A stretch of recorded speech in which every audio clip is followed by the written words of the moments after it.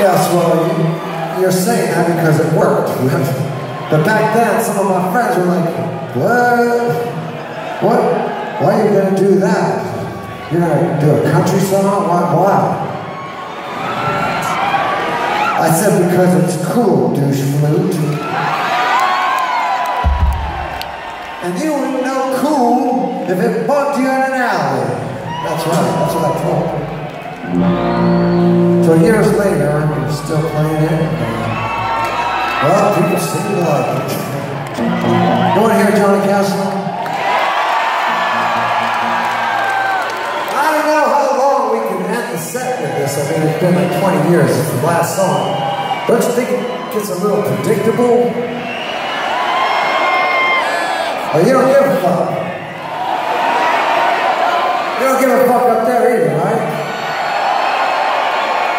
Johnny, Johnny, let me ask you.